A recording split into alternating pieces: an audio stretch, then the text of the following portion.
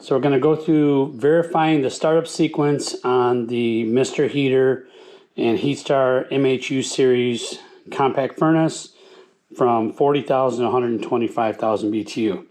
First thing we're going to want to verify is that we are in fact getting a 120 volt to our unit. We can see here we have 120 volt. Also a quick test on that is to look at the green light here.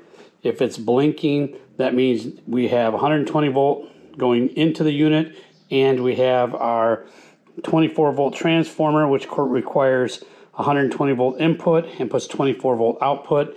If that's working, you'll see the steady, slow flash. This is normal operation. It's waiting for it to call for heat.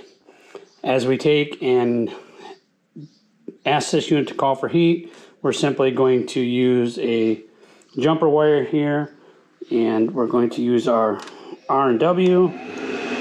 The unit now comes on.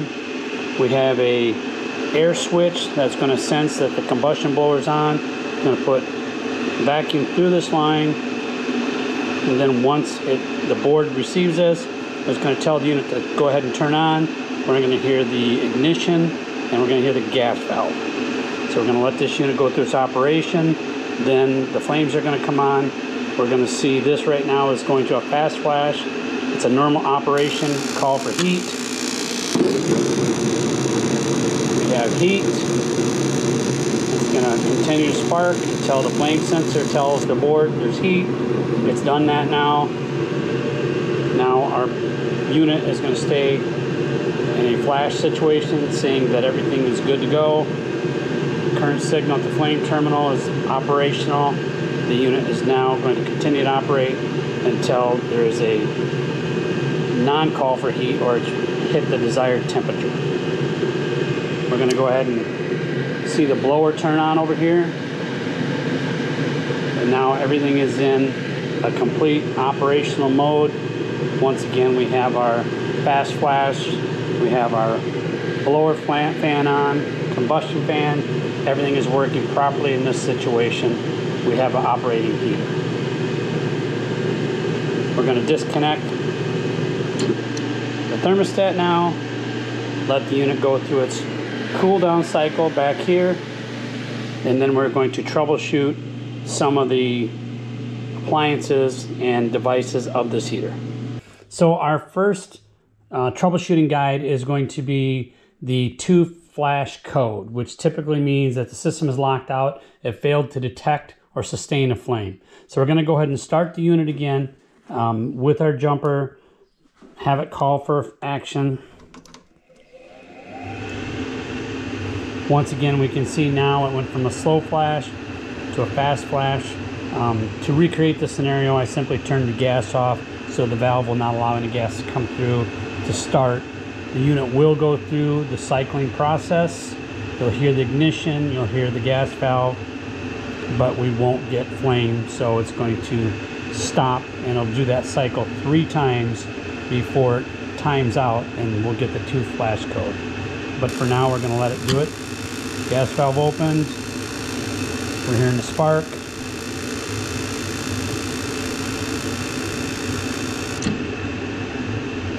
It didn't start so it's gonna take a few seconds it's gonna recycle again it's gonna come back over here. We're gonna get spark again. But because we have no flame our sensor is not going to signal signal back to the board to tell it to continue to leave the gas valve open. You watch our LED light. It's still fast flashing which is basically normal operation calling for heat. We're now on our second attempt to start. Once again, we have no gas coming to the valve. Unit's not going to start. Time's out. We'll have one more time.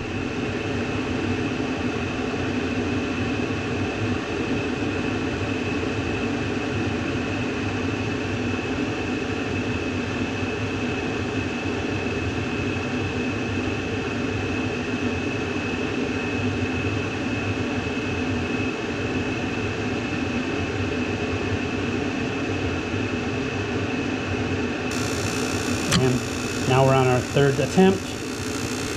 Once once again, we're not giving it any gas. It will not start. Now it's going to air out and go in a default mode.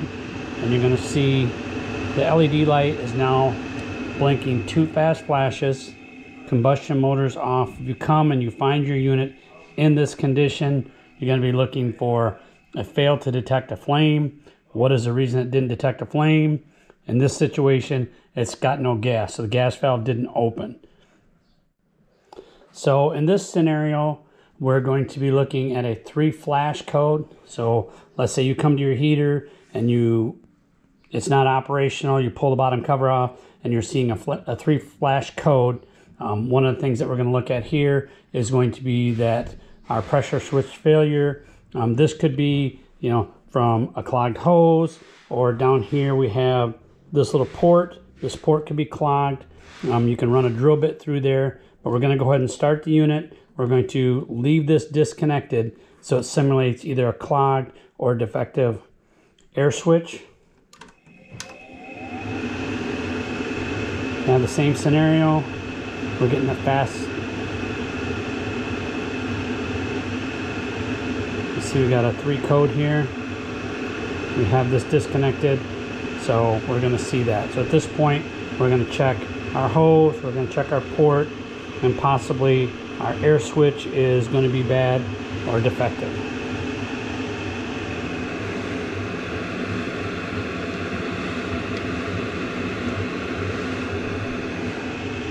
We put our air hose back on.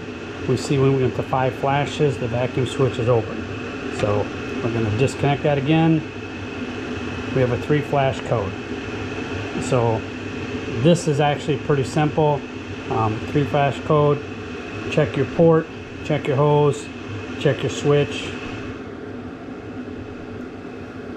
Put the hose back on. Now we're into the fast flash. It's going to call for heat. The gas is on. It's going to go ahead, cycle through, and start up.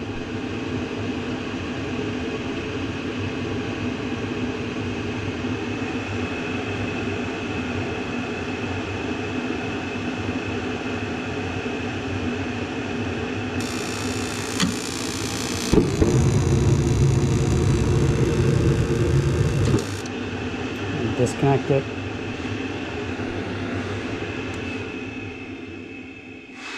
Now we're in a slow flash here, which is basically saying it's ready for us to go ahead and start it again. Next, we're going to simulate a high limit switch error or a four flash code. I'm going to go ahead and let the unit go through the sequence. You can see from the green flashing LED, it's blinking fast, which means it's going to call for heat. We're going to have the ignition start, we're going to have the gas valve open, we're going to have flames come on, and then we're going to simulate a high heat situation with the high limit switch rollout switch. Once again, this is our high limit back in here, and our rollout switch is going to be over here. This rollout switch can be reset. So the unit's on now, it's running, it's in a normal sequence. We're going to overheat the switch.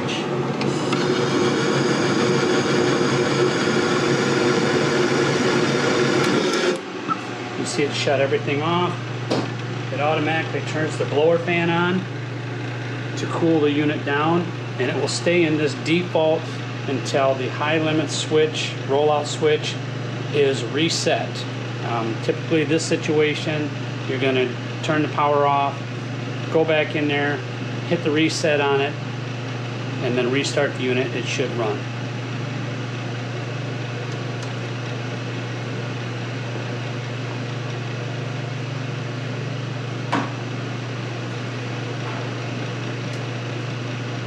We're going to go ahead and turn the power off on the unit. Going to reach back in here where the rollout switch is. You can see through there hit the little, you'll hear it click. Heard that small click. That means it's reset. Now the unit will go back into its normal operating mode.